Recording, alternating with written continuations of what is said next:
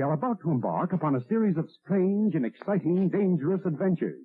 Adventures that will lead us to all parts of the world.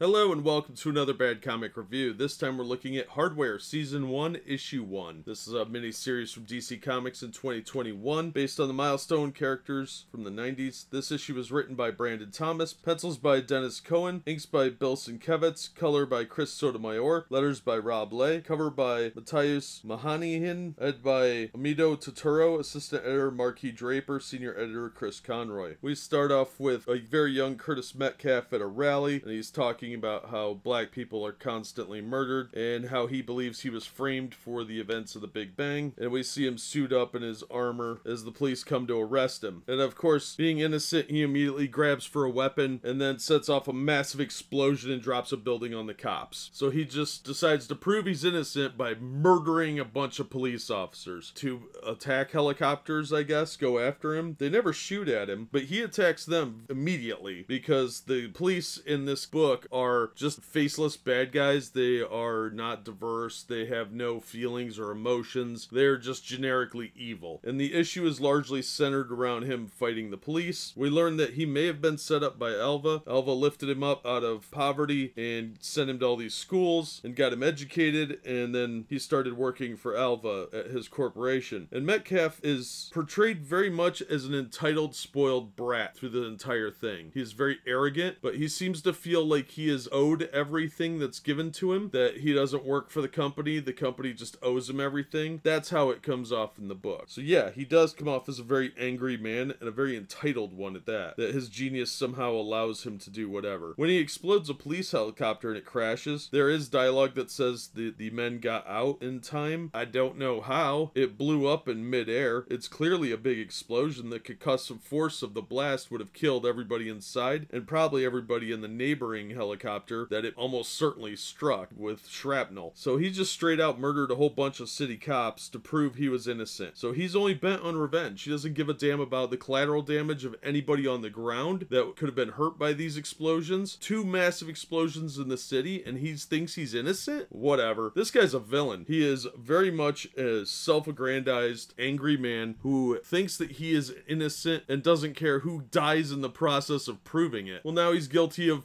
at least a dozen murders from what I could tell, not to mention collateral damage to neighboring buildings from both explosions, anybody the debris fell on because he didn't pay attention to anything in the surrounding area that that stuff may have landed on or the debris went into. He probably killed a dozen people at least. This is just a villain book. I'm not real interested in some psychopath story of vengeance. It's not a massive departure from the original because he was pretty angry and out for revenge in the original series, but he didn't come off as a psychopath like he does does here. It's a real disappointment too because the art is fantastic. This is some of Cowan's best work and Inks by Sienkiewicz really adds to his art style. So it's been some of his best work in decades and he wastes it on this petty racialized book about revenge. And it really does come off like a really racist book. This is very, very anti-white and I have issues with that. I don't want to read a bunch of racist propaganda. The whole Black Lives Matter stuff that's wedged in here is very ham-fisted. But the fact that Curtis seems to blame a lot of his problems on white people as a generic group really comes off as racist. And I'm not interested in supporting that, so I'm not going to pick up any more issues. The story was kind of lazy for somebody that's supposed to be a hero. He really acts like a villain, and I don't have much interest in villain books. So I'm not going to recommend this. I think it was pretty annoying and poorly written, and definitely portrays a lot of racist animosity in the book that I don't want to see in modern comics. It's really disgusting to see this kind of racial politics in a comic book where people are supposed to be heroes, and heroes unite, they don't divide. So I have no interest in this book, and I'm not going to support it, and I'm not going to recommend it, and I'm not buying another issue. Instead, I'll go back and read some of the older stuff if I can find it cheap, and maybe that will be a little bit less entitled and racially negative. That'll do it for this one. Thank you so much for listening and supporting the channel. If you enjoyed the video, please hit the like button, and don't forget to subscribe so you don't miss future reviews. If you'd like to help the channel out in other ways, links to my Patreon, the Teespring store, and my Streamlabs are all in the description description. And as always, we hope to see you on the next one.